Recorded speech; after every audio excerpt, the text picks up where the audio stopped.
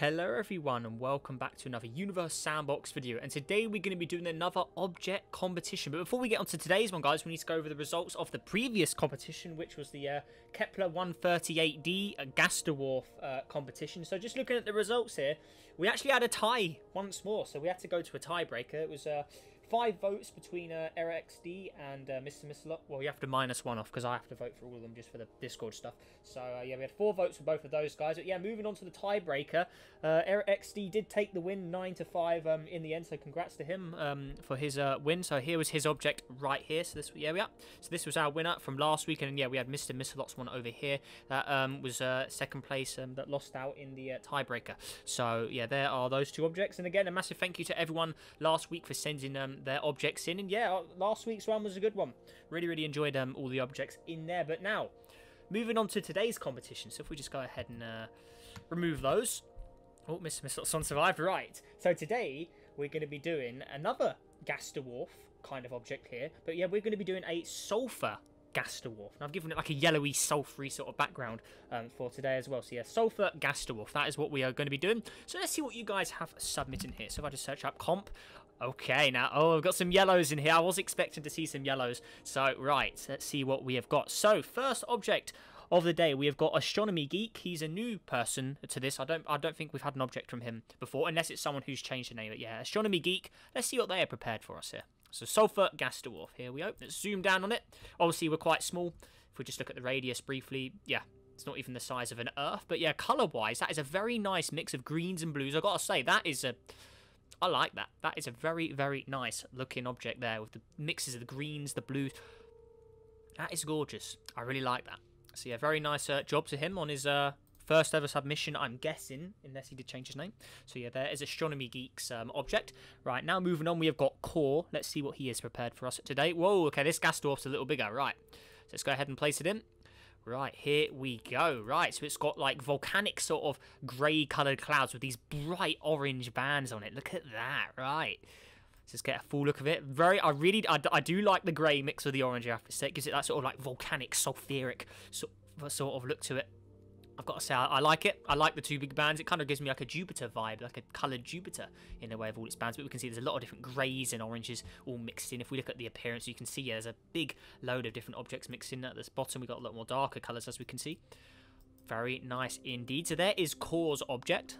Awesome stuff. Right, next up we have got Siren's object here. So let's see what he has prepared for us. So let's go ahead and uh, place that down here. Okay, so we've got lots of different shades of yellows in here. Sort of pale, sand yellows, oranges. Nice mix of, um, obviously, sulfuric sort of colours. So, yeah, there they all are there. Very nice indeed. Yeah, I like the blending of all the different yellows and stuff in there. Sandy yellow, more like dark yellow, or a bit of olive sort of yellow in there as well. Very nice mixes um, indeed of colour there. So there is um, Siren's one. Right, now moving on. Oh, wait. Comp. Let's put that in again. Right, comp. Next up, we've got Error XD. Apologies if I scrap your name once more. So here we go. Here is his his object. So he's gone for a rocky-based um, object, as we can see here. So Gas Dwarf SO2, and I believe he had some sort of backstory behind this. Let me just see if I can find it. Because there was two of the guys who sent like a little backstory but with their objects here. So let me just go ahead and find the chat for it. Okay, so okay, so here's what he said. Right, so he says that this gas dwarf has a sulfur dioxide atmosphere and orbits the star far from its habitable zone. But the dense atmosphere basically traps all of the heat. It has an ocean below the thick atmosphere, alright? Okay. So if we look underneath, uh, oh, we have to hide the clouds as well. Okay, so it has a, a, a water ocean below the thick atmosphere that reacted with the sulfur dioxide to make H2SO3, also known as sulfuric acid. Right, which is um, also what the clouds are made of. So that's similar to sort of Venus in some um, some regards there. Um, it has some life forms that never go beyond the sea thanks to the crushing pressures except microbes, okay? Yeah, that's kind of like that recent Venus discovery of like the possible microbes in the atmosphere and stuff. I like this. This is cool. Right, so um, microbes, um, some of the um, some of which metabolize sulfur dioxide and release some oxygen, which turn oxygenates the oceans. These microbes are responsible for keeping the underwater creatures alive. Okay, so they sort of take in that and then release that oxygen. That's a pretty cool backstory. I like that. So yeah, there is his object. So yeah, that ocean got some oxygen hidden in there, all hidden under these sulfuric clouds, and then obviously the clouds and then the atmosphere on top there. So it's almost like an ocean world version of Venus, but a little more friendly the temperature. that's cool. I like that. Very, very nice um, backstory to it. So there is um, Era XD's Gas to Warfare. Very nice. Really, really like the um, the Rocky Planet usage as well. I think that's quite cool. Right, next up, we have got this object here. So this is D Munich object. Let's see what he has placed in. Alrighty, so we can see a similar sort of build to what Era XD is, but we've got a very, very vibrant yellow here. That is looking pretty awesome indeed as well. Right, so if we have a look here, zoom in on it. See, the yellow is very, very strong and bright. Very, uh, very bright and glowy. That is cool. Right, so if we look underneath as well, let's see what we've got under here. So this one is all blacked out. Oh, very scary underneath, right. Looks like it's got a tint to it as well. We can see the sort of yellow tint on it. So yeah, very interesting stuff. It is a rocky planet. Is this an ocean? Oh, well, I think I, have broken it. Oops, a daisy. So it did have like some tinted um, black ocean, but I'm guessing that's not really going to change much apart from the clouds when we had it on because it's still the same visually even without that. But yeah had some sort of um, interesting tint or something going on below um, which is pretty cool. So yeah there is his sulfuric um, gas dwarf there. So that is that's really cool. I like that. Right moving on so we have got Tis Pole's object as well, and he's also put a backstory for his one. So we've got a third uh, rocky object with um, clouds and atmosphere on it here. Right, so he, for this one, okay, so this one's got a custom name. So it's um, Hepa Aestus. I'm sorry if I'm scrapping that. Um, a ferrosulfuric gas dwarf. It is shrouded with a thick atmosphere of CO and CO2 and volatile sulfur compounds, as well as some high altitude water vapor clouds. Okay, you can see the sort of, I think they're white clouds under there. I'll have to have a look in a minute. Um, with the occasional ash cloud due to the volcanism on the surface. Yes, the volcanoes everywhere here. Right. Um, which you can just see through the thick atmosphere on the night side. Right, night side. Okay, so we need to go to uh, no, studio. No, we want to go to directional. So that yes, you can see the surface at night. Yeah, there you go. Okay, that's cool. Right, so yeah, you can see the surface at night. If you look underneath the atmosphere and clouds, you can find an ocean of pure liquid sulfur covering most of the planet. Right.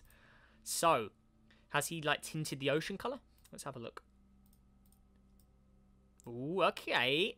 Liquid water color. Look at that. Okay, so the liquid water it's actually the red area. So if we turn the water on and off, and where, where's the where's the water button? No. Uh, liquid water colors this one though, so you can see the area I'm changing. Oh, actually, where whereabouts is the?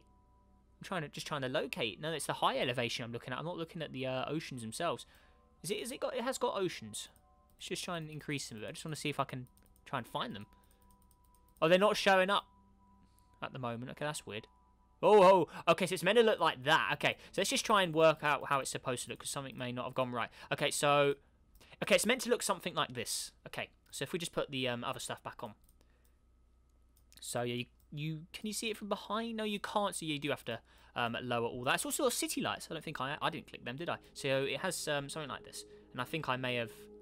Actually, let's just spawn a fresh one, because I, I, did change it, didn't I? So let's just set, yes, fresh one in. Uh, quickly just uh, remove that. Uh, head to it like so. Right, appearance. Right, I'm not going to change the watercolor on it, but let's just add and... Okay, so yeah, it's a more of a darker red. Okay, so I did a... Okay, so it's meant to look something like this, I'm guessing. So yeah, look at that.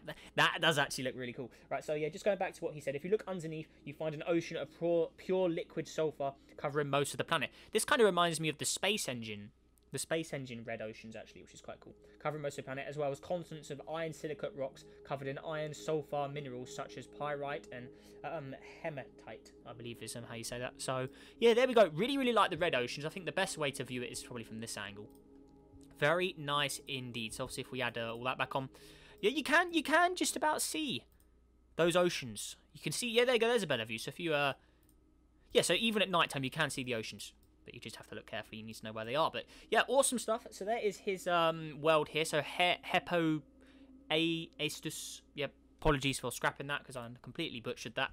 Um, but yeah, moving on now. So go back to uh, studio mode.